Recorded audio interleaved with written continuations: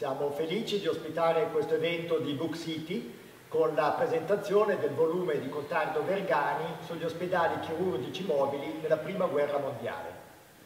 Siamo nell'ospedale maggiore, nell'antico edificio sforzesco progettato dal Filarete della Cagranda, che ospita attualmente l'Università degli Studi di Milano e direzione e uffici amministrativi del Policlinico adiacente, un modernissimo istituto di ricovero e cura a carattere scientifico tra i primi in Europa, ma con una lunga storia alle spalle.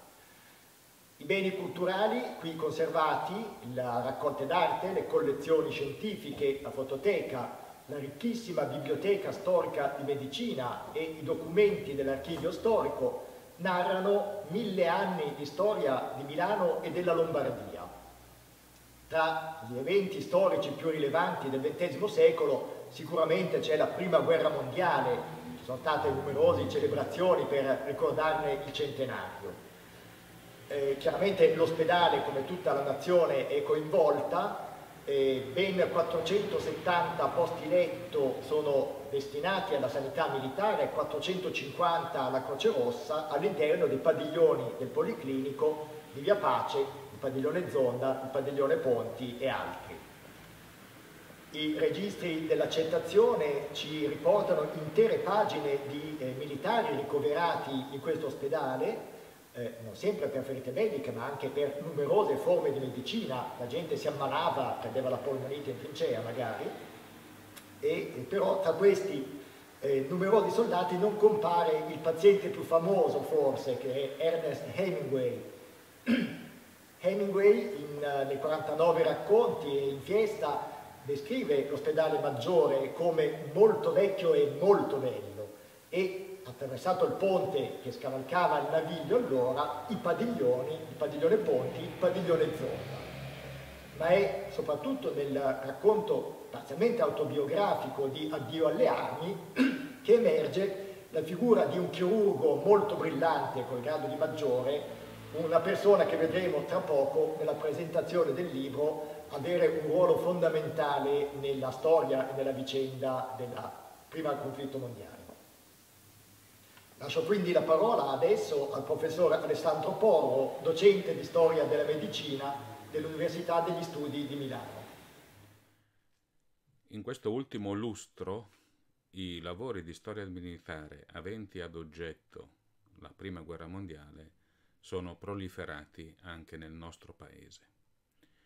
Quindi il volume di Contardo Vergani, che oggi presentiamo a un pubblico più ampio, potrebbe essere considerato come uno fra i tanti volumi facenti parte del mainstream storiografico specifico.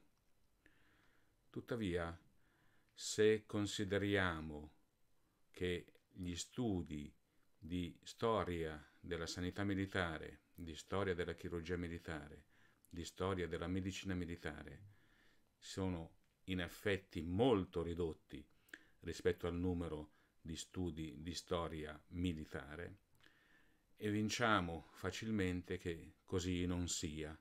E quindi possiamo rispondere positivamente alla domanda se il volume di Contardo Vergani possa avere un posto non solo fra le biblioteche, fra i libri delle biblioteche degli specialisti e degli addetti ai lavori, ma anche fra i libri delle biblioteche delle persone di cultura interessate ad approfondire il tema della Prima Guerra Mondiale. In effetti il valore della medicina, della sanità, della chirurgia militare per l'evoluzione generale della medicina, della chirurgia e dell'assistenza è stato in passato, è attualmente e sarà in futuro sempre di grande rilievo. Si pensi esemplificativamente non solo al triage infermieristico, che noi tutti incontriamo quando entriamo in un qualsiasi pronto soccorso dei nostri ospedali, oppure alle protesi, alle protesi che devono risolvere problemi di riabilitazione, non solo relativi agli avvenimenti bellici, ma anche relativi all'attività civile, ma in un senso più generale perché noi ben sappiamo che molti apporti elaborati sui campi di battaglia, negli ospedali militari sono stati poi tecnicamente riportati alla dimensione della sanità e dell'assistenza civile. Il volume di Contardo Vergani affronta non solo termini tecnici, interni, questioni relative alla chirurgia militare, ma approfondisce anche temi di organizzazione, temi finanziari, temi economici e quindi questo lavoro ha un interesse precipuo non solo per la storia della medicina, ma anche per la storia generale e per l'attualità.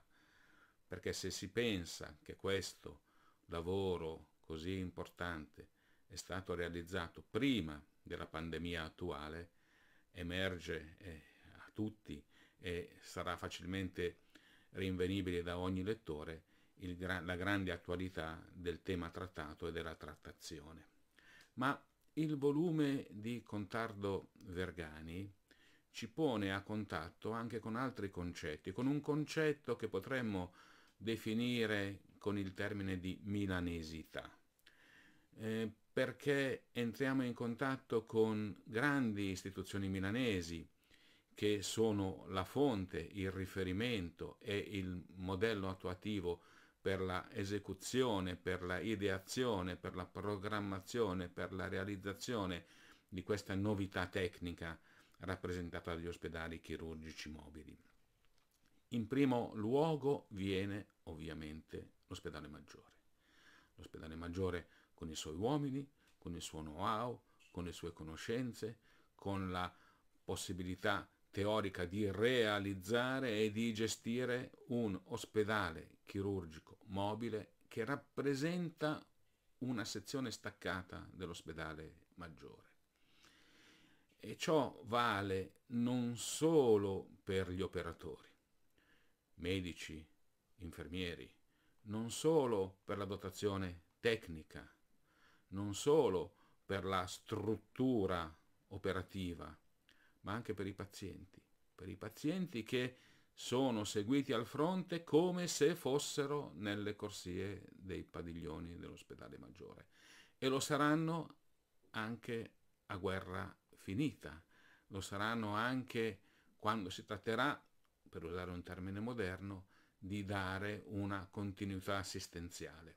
Il legame, il riferimento, nato sui campi di battaglia, con gli, con gli uomini, le strutture dell'ospedale maggiore, l'attività dell'ospedale maggiore, non cesserà per questi pazienti. Il secondo stakeholder con il quale entriamo in contatto è la Cassa di risparmio delle province lombarde, il che ci pone in contatto anche con il tema, per usare un termine moderno, del finanziamento, del fundraising, e il ruolo istituzionale della Cassa di risparmio delle province lombarde e della Commissione centrale di beneficenza era al tempo, come è oggi, di fondamentale importanza per la realizzazione di molti progetti di grande respiro come quello degli ospedali chirurgici mobili. Tuttavia, a questo stakeholder istituzionale si affianca anche uno stakeholder diffuso, potremmo così dire, che è rappresentato dalla cittadinanza milanese. La cittadinanza milanese viene coinvolta in prima persona nel cofinanziamento di questa impresa. E questo è un aspetto di quella milanesità della quale si parlava poc'anzi, perché è il modello di finanziamento, di cofinanziamento che consentirà la realizzazione di grandi istituzioni. Si pensi all'Università degli Studi di Milano, o si pensi per restare in ambito sanitario ad istituzioni importanti come l'Istituto Neurologico oggi intestato a Carlo Besta oppure all'Istituto Nazionale dei Tumori. Questa condivisione della cittadinanza nel finanziamento, nella realizzazione, farà sì che questo obiettivo, cioè la costituzione degli ospedali chirurgici mobili, venga felicemente realizzato, operi con successo sul campo di battaglia, ma possa portare la sua esperienza umana, assistenziale e scientifica anche nel mondo civile del dopoguerra. Adesso spazio all'autore del volume, Contardo Vergani, professore di chirurgia, direttore di una unità operativa semplice dipartimentale del Policlinico di Milano e membro del consiglio di amministrazione della Fondazione Piero e Lucille Corti che sostiene l'ospedale di Gulu in Uganda. Grazie all'amico dottor Paolo Galimberti, dotto conservatore dei tesori dell'ospedale Maggiore e anfitrione in questo scenario così fascinoso. Grazie al professor Alessandro Porro per le parole dette e per la capacità di rendere vivo il passato rapportandolo al presente e anche per aver curato la prefazione storico-medica al mio libro e vorrei ringraziare anche il professor Mario Snenghi, emerito di storia contemporanea all'Università Ca' Foscari, che oggi non è presente, ma che ha accettato di anteporre la sua prefazione storica generale al volume. Naturalmente grazie alla Cagranda che ci ospita, alla Cariplo per il suo contributo e alla eh, Università di Milano a cui appartengo, alla Sanità Militare, al Comitato della Croce Rossa Milanese e alla Fondazione Corti per aver concesso gli auspici. E infine un grazie all'editore Paolo Gaspari perché per la veste editoriale che ha permesso che il libro uscisse con, corredato da un ricco contributo di eh, fotografie in gran parte inedite. Il libro si intitola Chirurghi in prima linea, storia degli ospedali chirurgici mobili nella Grande Guerra.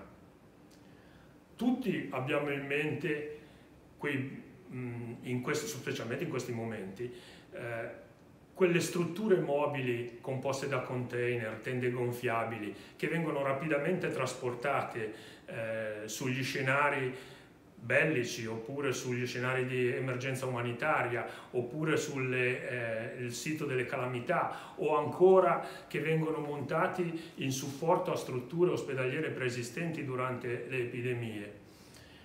Non tutti forse eh, siamo al corrente del fatto che questi ospedali mobili, queste strutture mobili furono in larga parte sviluppate durante l'ultima gra grande guerra e forse quasi nessuno sa che gli ospedali chirurgici mobili italiani sono nati qui a Milano in Policlinico e nel padiglione Zonda dove io lavoro.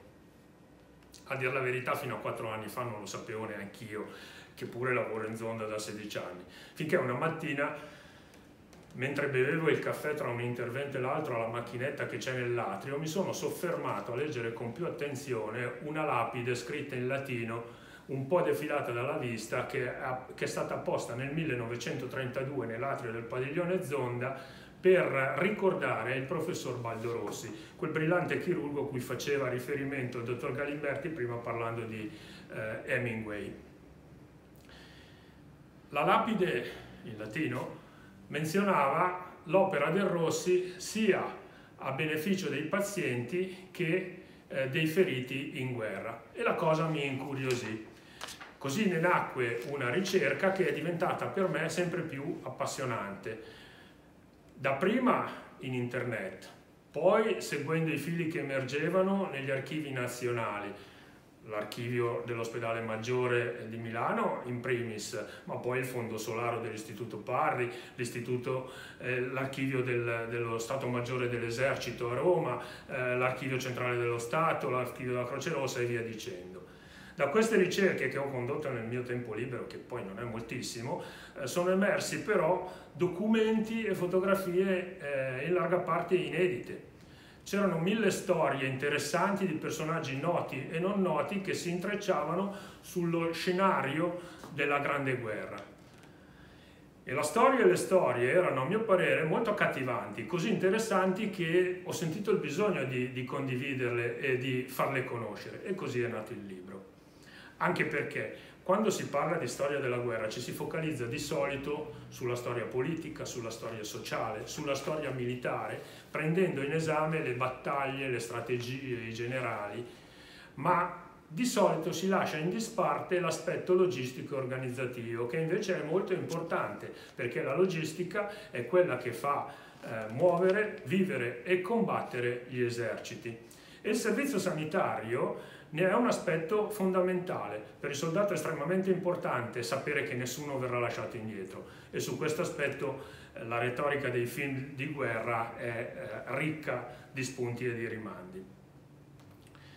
Eh, lo scoppio guerra, della guerra nel, nell'agosto del 14 trovò tutti gli eserciti impreparati, gli stati maggiori di tutti gli eserciti belligeranti erano ancora formati sulle dottrine del passato, sugli schemi strategici del passato ed erano orientati a una guerra di movimento. Non avevano ancora metabolizzate le esperienze che pure si erano fatte nella recentissima guerra russo-giapponese.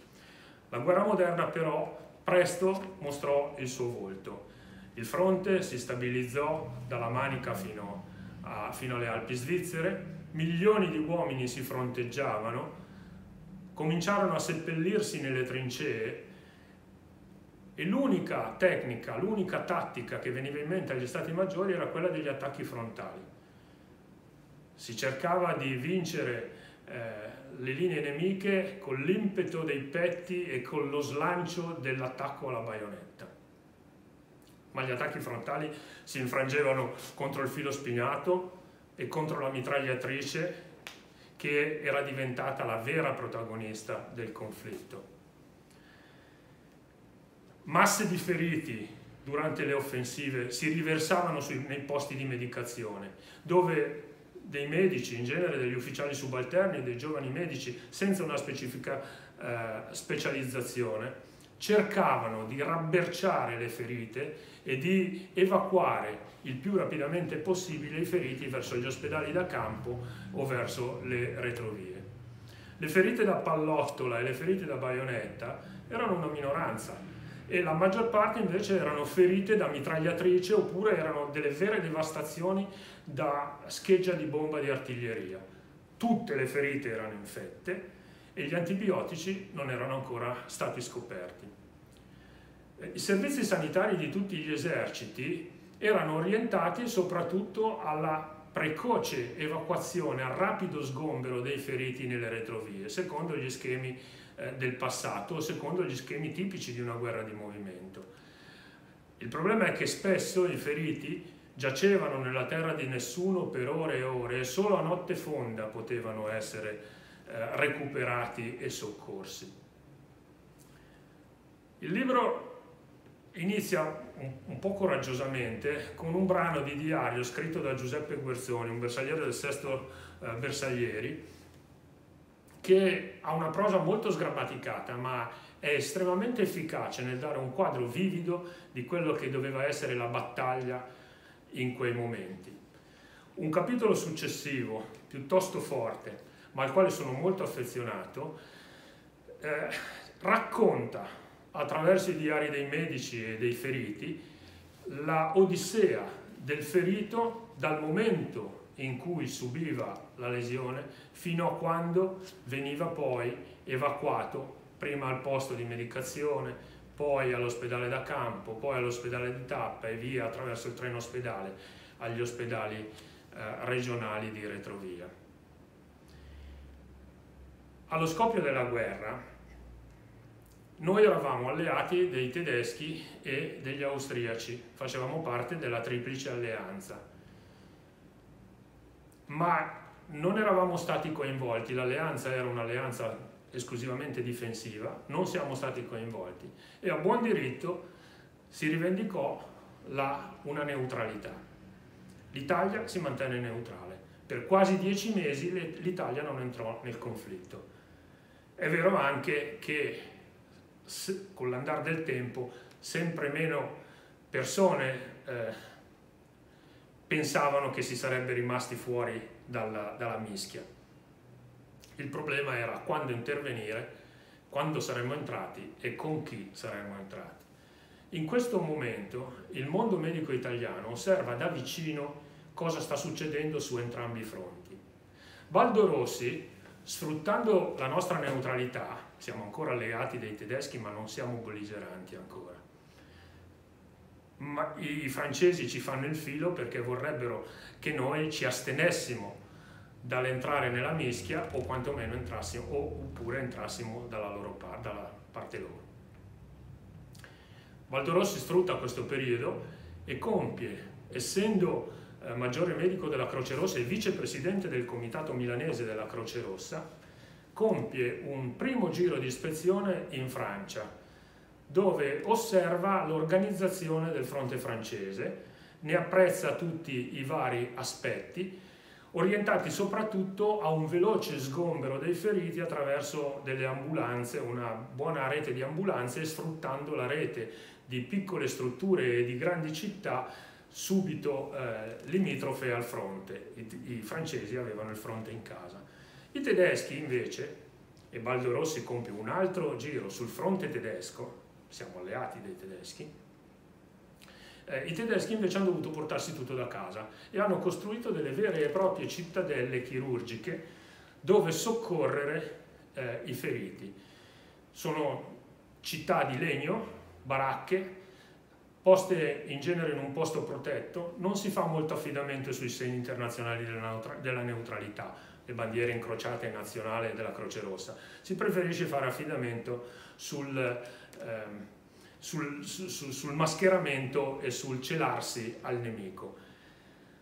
Rossi osserva anche sul fronte tedesco, ne rimane molto ammirato perché l'organizzazione tedesca è veramente capillare, torna a Milano e sviluppa in una serie di conferenze con una vera e propria campagna di comunicazione diretta sia ai tecnici, sia ai laici, sia agli amministratori civili che alle autorità militari, eh, sviluppa l'argomento, lo illustra e sensibilizza la popolazione.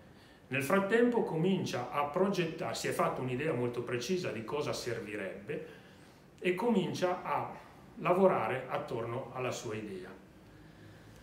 Un problema particolarmente spinoso, infatti, era costituito dai feriti cavitari, cioè dai soldati che erano stati feriti a una delle grandi cavità corporee, il cranio, il torace oppure l'addome soprattutto gli addominali, che dice Baldo Rossi, lo scrive in una sua lettera, in questa guerra muoiono quasi tutti. All'inizio del conflitto, alla luce delle esperienze delle guerre precedenti, vigeva ancora l'aforisma di McCormack che diceva che di malati, di feriti addominali operati vivi non ce n'era neanche uno, qualcuno non operato riusciva a farcela. Così i comandanti dei servizi sanitari di tutti gli eserciti avevano dato ordine ai loro sottoposti di non operare i feriti dall'addome. Digiuno assoluto, posizione semiseduta, oppiacei per rallentare il transito e il dolore, il transito addominale e il dolore, e chi ce la faceva ce la faceva. La mortalità però era altissima, per cui la ferita dell'addome era quasi una sentenza di morte certa.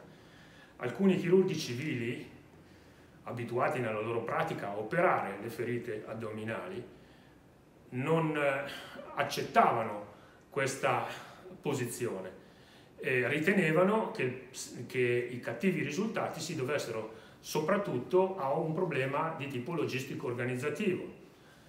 I medici militari non erano degli specialisti chirurghi, operavano in condizioni estremamente disagiate eh, vicino alla linea del fuoco, gli strumenti erano assolutamente inadeguati, i malati venivano operati dopo molte ore dall'inizio, dal, dall'insorgenza della ferita.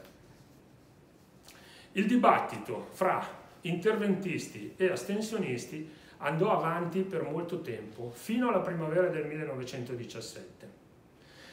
Baldo Rossi, che era un cultore particolare della chirurgia addominale e della chirurgia eh, asettica e antisettica, era stato il primo in ospedal maggiore a introdurre l'uso dei guanti di gomma, eh, era noto perché al mattino arrivava prestissimo per sorvegliare il carico degli autoclavi, era convinto, era, apparteneva alla, alla schiera degli interventisti e cominciò a ragionare su come poter ovviare ai problemi logistico-organizzativi.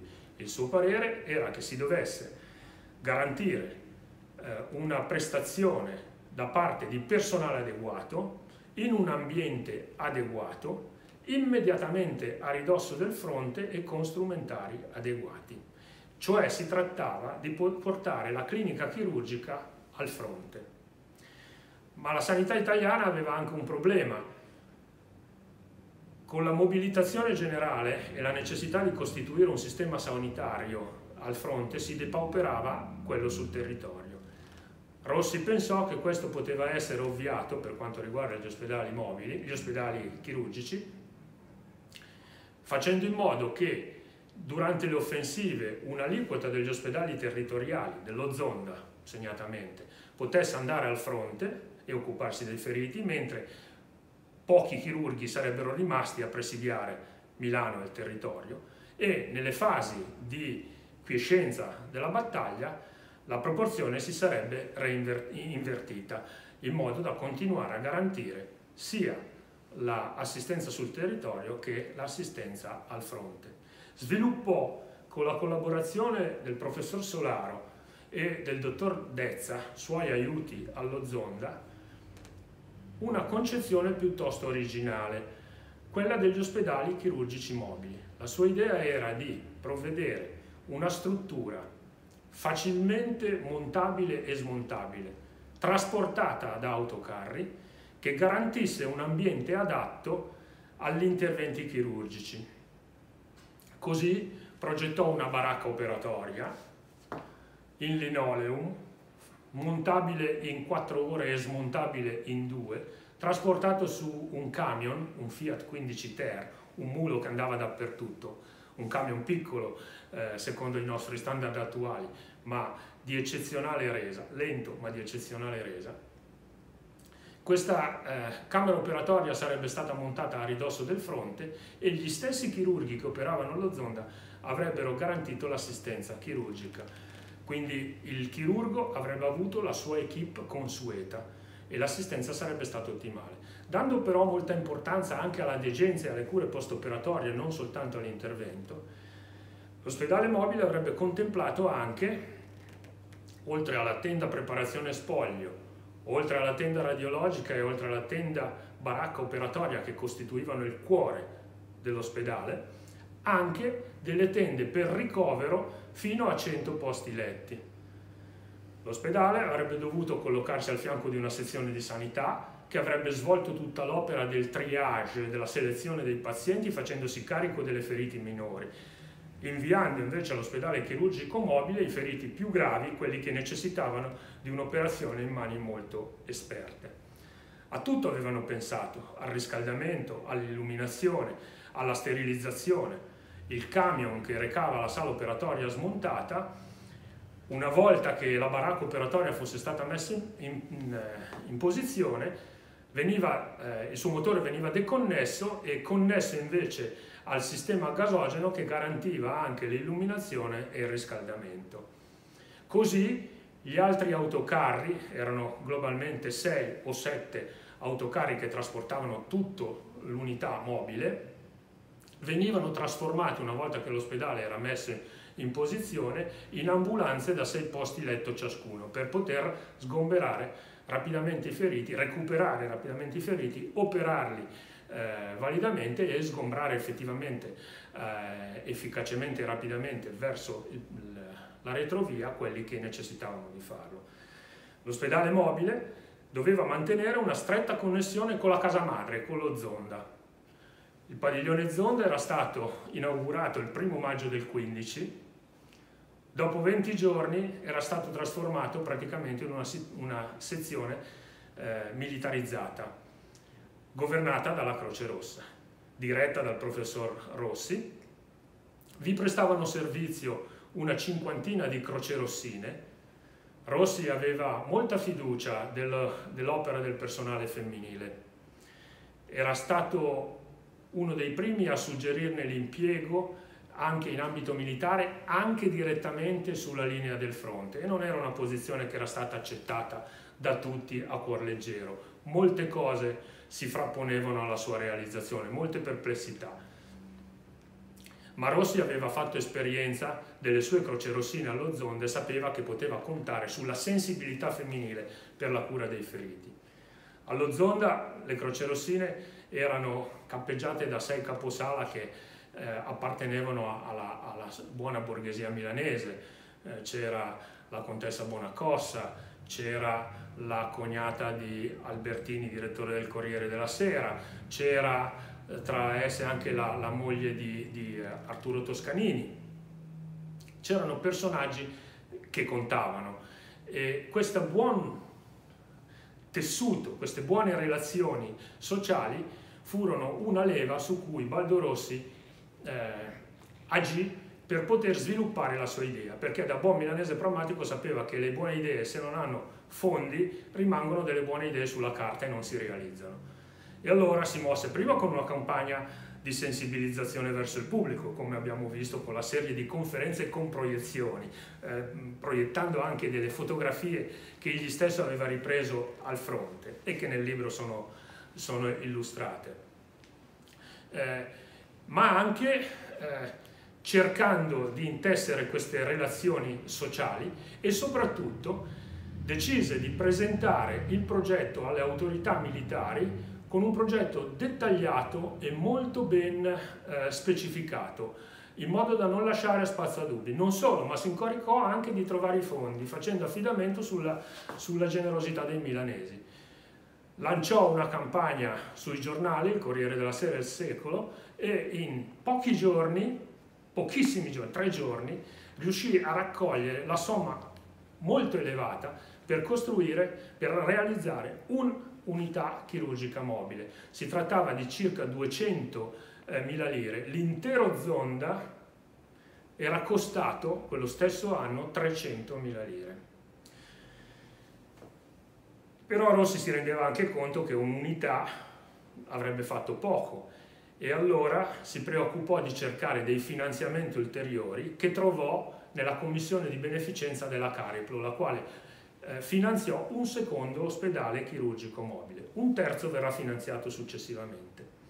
Il primo ospedale si chiamerà Ospedale Chirurgico Mobile Città di Milano, l'avevano finanziato i milanesi. Il secondo ospedale si chiamerà Ospedale Cassa di Risparmio delle Province Lombarde. Il terzo ospedale successivamente si chiamerà Monteggia, in onore di Giovan Battista Monteggia, eh, chirurgo al Policlinico nel, nella fine del Settecento. Le autorità militari sono entusiaste dell'idea quando eh, vedono il progetto, lo appoggiano e dal canto suo la sanità militare dà ordine di allestire altre sette ambulanze chirurgiche d'armata, in tutto analoghe con alcune differenze tecniche agli ospedali chirurgici mobili di Baldorossi. Così alla fine della guerra c'erano in servizio ben 10 unità chirurgiche mobili, tutte dirette da un cattedratico o da un eminente chirurgo, con una specializzazione e un'attrezzatura veramente d'avanguardia, sia dal punto di vista diagnostico, elementi radiologici, sia dal punto di vista terapeutico. Queste eh, unità mobili cominciarono a entrare in servizio il 15 maggio del 16 il 15 maggio del 1916 una lunga teoria di, eh, di eh, carri ferroviari partì dalla stazione di Porta Romana, la stazione merci ad alta velocità, come si chiamava, era appena stata realizzata, diretta verso il fronte isontino. A bordo c'erano le prime due unità chirurgiche mobili, l'ospedale Città di Milano e l'ospedale Cassa di Risparmio delle province Lombardi. Uno sotto la direzione del professor Rossi, l'altro sotto la direzione del professor Ernesto Bozzi, suo amico patologo chirurgo dell'Università di Genova. Arrivati al fronte, però, il fronte isontino era quiescente in quel momento, mentre proprio il giorno prima era scoppiata l'offensiva degli altipiani, quella che verrà poi comunemente chiamata Strafexpedition, per cui il fronte trentino e veneto era diventato estremamente importante. Rossi, essere, Rossi e Bozzi chiedono di essere rischiera, rischierati su quel fronte, ansiosi di dimostrare la loro attività. Il problema è che le, le, eh, le strutture sanitarie, le, i comandi non sapevano bene come utilizzare questo nuovo strumento e in Trentino e in Veneto effettivamente questa, eh, eh, azione fu poco efficace. Con l'affievolirsi della eh, della Strafe Expedition, Rossi poté dimostrare la rapida mobilità del città di Milano, rischierandosi rapidamente da Ala, dove era, in un giorno, a 150 km di distanza, al piedi dell'altipiano di Asiago, eh, essendo operativo la notte successiva. E quando l'offensiva lo permise, ulteriormente fece un balzo avanti nel cuore dell'altipiano ai campi di mezza via a metà e qui i risultati, essendosi avvicinati molto alle linee, anche i risultati chirurgici migliorarono drasticamente. Essendoci eh, affievolita la, la, offensiva sugli altipiani e essendosi invece riaccesa con la battaglia di Gorizia, quella sul fronte isontino, quasi tutte, tranne due, le unità chirurgiche mobili, sia quelle della Croce Rossa, sia eh, le ambulanze chirurgiche d'armata, vennero rischierate sul fronte dell'Isonzo, in parte sulla seconda e in parte sulla terza armata. Presero base a Gorizia, presero base a, Quiz, a Quisca e, eh, e qui svolsero praticamente tutto il 1900, la fine del 16 e il 1917. Ci furono inenarrabili episodi. Eh, mentre, mentre erano sul fronte dell'Isonzo, si sentì il bisogno di proiettare alcune aliquote avanzate più vicine al fronte. L'ospedale Città di Milano aveva la base a Quisca, era in territorio seconda armata e eh, quando si fu la preparazione della battaglia per la Bainsizza, si, chiese all'ospedale chirurgico mobile di, allestare, di allestire un'aliquota avanzata proprio sulla riva dell'Isonzo, nell'ospedale che è stato definito da una commissione della Croce Rossa internazionale come uno dei più strani ospedali della guerra, in un tunnel ferroviario. Nel tunnel ferroviario di Zagora, che tuttora c'è ed è funzionante, eh, fu allestita la camera operatoria una camera radiologica e una camera di degenza. Quando con la conquista della Bainsizza anche questa sede fu troppo lontana dal fronte, si proiettò ulteriormente a Ravne, proprio nel cuore dell'altipiano, e per un paio di mesi rimase l'unica struttura specializzata a, mm, a, sostenere il soccorso di tutti i feriti della, della Bainsizza.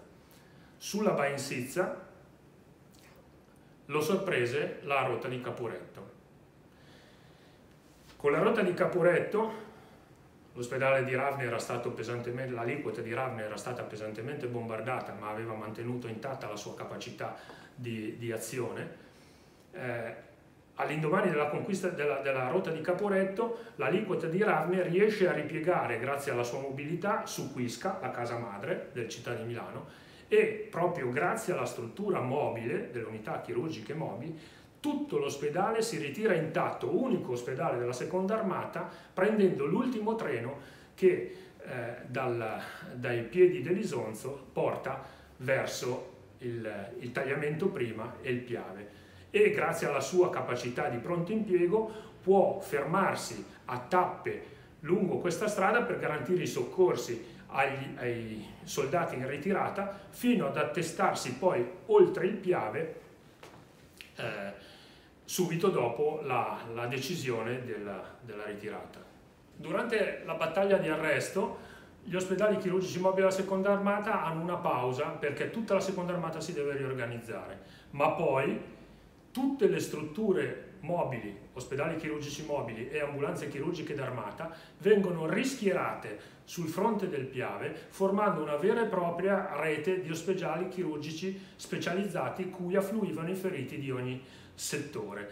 Qui la mobilità cessa di essere importante e si installano nelle ville venete che i patrizi avevano sfollato, diventano dei veri e propri ospedali stabili e lavorano molto comodamente.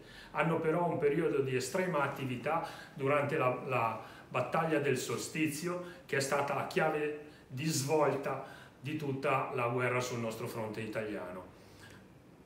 Eh, L'attività in questo periodo è estremamente eh, estremamente pesante. I feriti affluiscono, ma il morale è totalmente diverso rispetto a quello eh, della disfatta di Caporetto.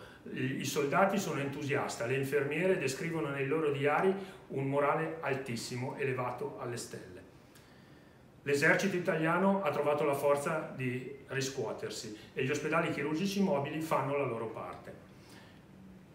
Purtroppo nell'estate eh, del 18 e nell'autunno del 18 interviene anche l'epidemia di spagnola e i letti che dovevano eh, essere riempiti dai feriti sono spesso riempiti da malati di questa nuova epidemia. La sentiamo molto vicina in questi giorni di coronavirus, eh, ma l'epidemia di spagnola fu allora estremamente devastante la, la mortalità nelle città salì vertiginosamente. I giornali ne parlavano, ne davano notizia quotidiana, anche se con molta accortezza e con molte censure per evitare il, il panico. Ma la mobilità degli ospedali chirurgici mobili ridiventa molto importante al domani della, della, battaglia di Vittorio Veneto. Vinta la battaglia di Vittorio Veneto comincia l'inseguimento del nemico sconfitto lungo la piana e la riconquista e qui gli ospedali chirurgici mobili seguono l'armata e si installano nei vari posti a sostegno della popolazione e, eh, e del, dell'esercito eh, in avanzata.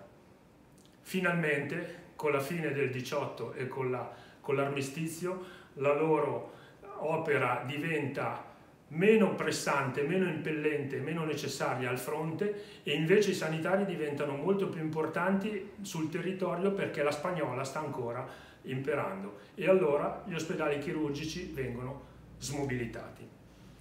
Alla fine, dopo le molte polemiche che c'erano state nel 17 circa l'utilità, circa il costo eccessivo di questa unità, che bilancio si può trarre? Nel solo ospedale chirurgico mobile città di Milano, uno solo dei tre della Croce Rossa, eh, furono operati più di 5.000 eh, pazienti. La mortalità per feriti addominali, che era praticamente il 100% all'inizio della guerra, dopo l'attività degli ospedali chirurgici mobili eh, ebbe una brusca caduta e la sopravvivenza raggiunse il 38-40%. Questo con cifre standardizzate in tutte le unità mobili, sia quelle della Croce Rossa che quelle della sanità militare. Quindi, calcolando i vari rapporti che ci sono per le varie unità, si può pensare che non meno di 20.000 persone abbiano beneficiato dell'opera del, eh, delle unità mobili. Non solo, ma queste, con la loro competenza e con la loro dotazione, furono importantissime per fare da volano a tutte le altre strutture più stabili e a cambiare le modalità e le procedure di approccio. La specializzazione si fece strada. Eh, le ricadute sulla vita civile furono del pari importante, non solo sugli addominali, ma anche sulle ferite craniche e sulle ferite toraciche. Se volessi concludere con un esempio per decidere se ne è valsa la pena o no, vi dirò che nel fondo Solaro è custodita una foto del capitano Solaro scattata da Carlo Ludovico Bragaglia. Carlo, Ludovico Bragaglia era un celebre fotografo delle dive, Lida Borelli eh, e altre eh, dive coeve. Dopo la, eh, Carlo Ludovico Bragaglia era un sottotenente d'artiglieria e fu ferito da una ferita devastante all'addome al torace. Trattato in un primo momento per la ferita dell'addome, venne ricoverato all'ospedale di Quisca, città di Milano, per la ferita al torace. Lo davano tutti per spacciato. Carlo Bragaglia ce la fece. Ritornò a, al suo paese. Siccome si chiamava Carlo, era talmente mutilato che l'hanno chiamato il resto del Carlino.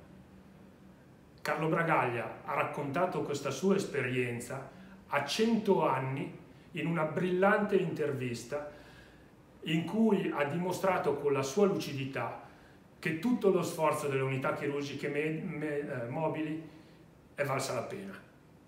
Carlo Bragaglia ci ha regalato film celeberrimi con Totò, con De Sica, ha incontrato Dive, è stato un eh, un esempio incredibile del cinema prima dei telefoni bianchi e poi anche del primo eh, neorealismo. È stato il testimone vivente a cent'anni della utilità degli ospedali chirurgici mobili e questo vuol dire che con l'impegno personale integrato con le strutture sanitarie eh, generali e armonizzato eh, nell'ambito di tutta l'assistenza la, la sanitaria eh, generale si può veramente fare la differenza. La riflessione finale che può proporre lo storico della medicina fa riferimento alla stretta attualità, fa riferimento all'attuale pandemia in atto, fa riferimento a quelle strutture sorte per rispondere alla dimensione emergenziale di questa pandemia. Il riferimento milanese, il primo riferimento milanese può andare all'ospedale allestito nei padiglioni della Fiera Milano. E se pensiamo e compariamo il modello di realizzazione, finanziamento e attivazione dell'ospedale della Fiera di Milano attuale, vediamo che è esattamente lo stesso modello attuato per il finanziamento, l'ideazione, la realizzazione degli ospedali chirurgici militari di guerra. Eh, mutatis mutandis, eh, la struttura funziona alla stessa maniera. La responsabilità del personale ospedaliero che dovrà gestirlo è la stessa responsabilità che era stata data ai medici dell'ospedale maggiore per la gestione degli ospedali chirurgici mobili. Possiamo dire allora che tutto è mutato, ma niente è mutato. E quindi la riflessione storica può anche aiutarci a comprendere meglio le esperienze del presente. Molto bene, molto interessante, grazie davvero ai relatori che ci hanno affascinato con questa vicenda fino adesso quasi sconosciuta o eh, totalmente sconosciuta, grazie al pubblico che ci ha seguito con, con pazienza e arrivederci.